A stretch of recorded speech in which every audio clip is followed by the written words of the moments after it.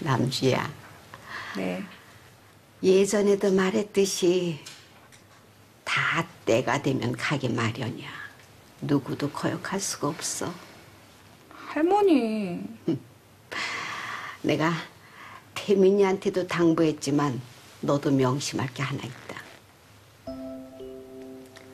앞으로 개성병원의 쥐는 이 오빠인 것처럼 앞으로 개성명관의 쥐는 남주 바로 너야. 그러니까 앞으로 네 엄마 말에 너무 어린애처럼 일회일비하지 말고 의연하게 네 앞길을 준비해서 헤쳐나가도록 해. 알았어? 네, 그럴게요. 앞으론 엄마 말에 일희일비하지 않을게요. 아니, 무슨 얘기 그렇게 다정하게 하세요? 오셨어요? 음. 어디 불편한 데 없으세요? 아들 손주 병원에 와 있는데 불편할 게 뭐 있어? 그래도 뭐 하나라도 불편한 거 있으면 언제든 말씀하세요. 음, 알았어. 아, 참 아범, 네, 어머니. 어, 박 변호사한테 연락 좀 해줘. 갑자기 박 변호사는 왜요? 아, 내가 뭐좀 어, 의논할 일이 있어서 아범이 박 변호사한테 연락 좀 넣어줘. 그래요, 어머니. 박 변한테 제가 연락해 놓을게요. 남주, 너 잠깐 아빠 좀 보자.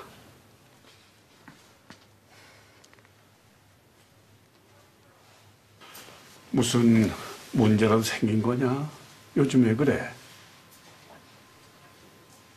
언제부터 물어보고 싶었던 건데 할머니 때문에 경황이 없어 미뤘어.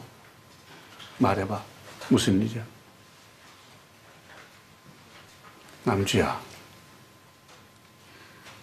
아빠, 그래.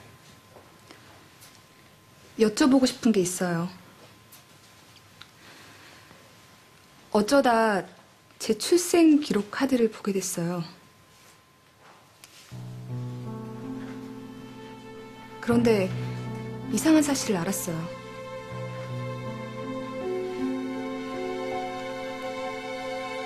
제 출생 기록 카드엔 엄마 이름만 있고 왜 아빠 이름이 없는 거죠? 왜죠? 저 그건 말이다.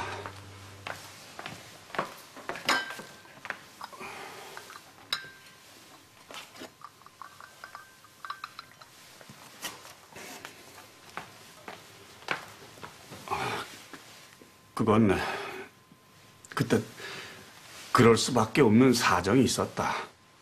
그게 뭔데요? 할머니한테 들어 알겠지만 그때 아빠가 태민이 엄마랑 사별을 하고 아주 힘든 때였어.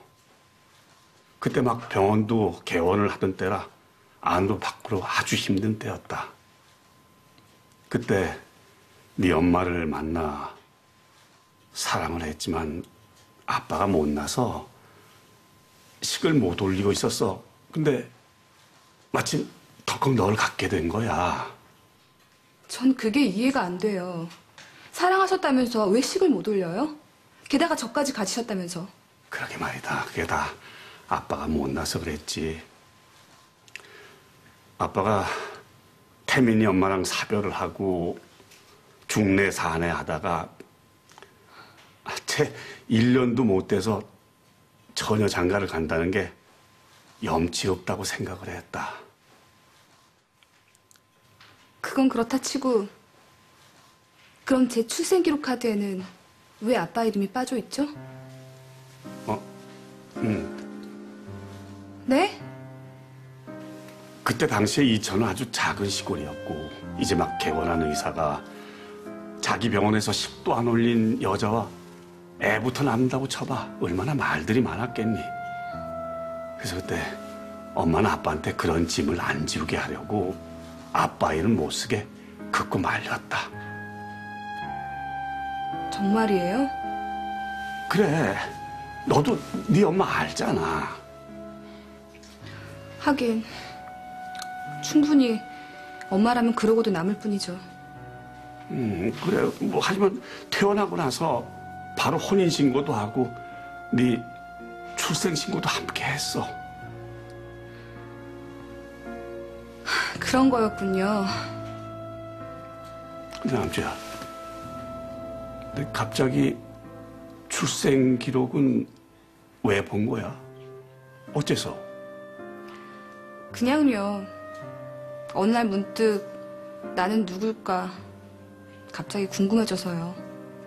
정말 단지 그런 거였어? 네. 하, 어쨌든 이제야 수수께끼가 좀 풀렸어요.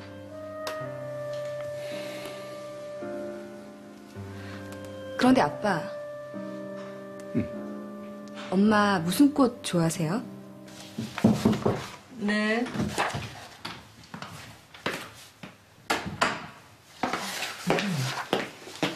무슨 일이에요? 약수하지만 이거 받으세요.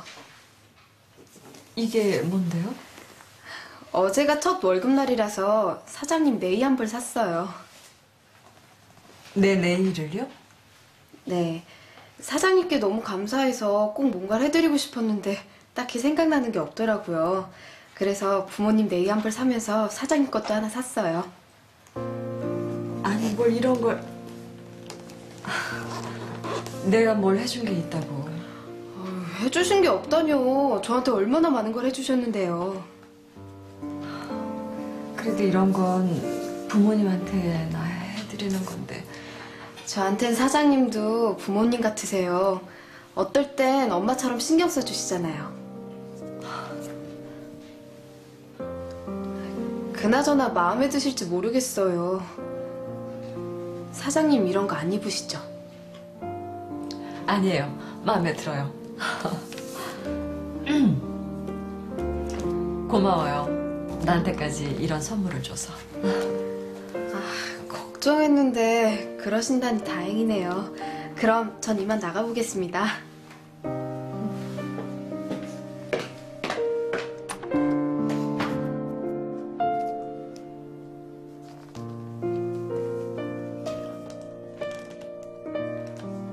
고맙다 너한테 아무것도 해준 게 없는데 너무 큰 죄를 졌는데 나한테 이런 걸 선물해줘서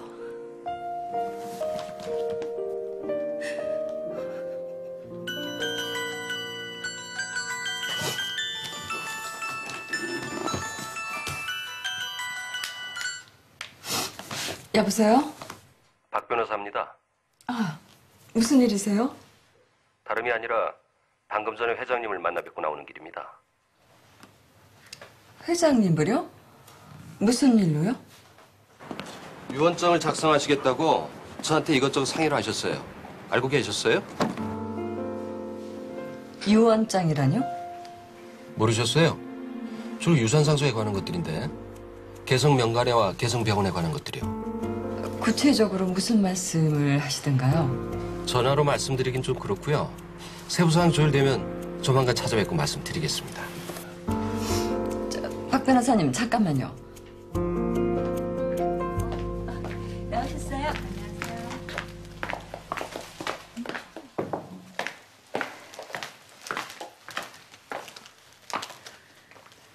엄마, 그동안 미안했어요.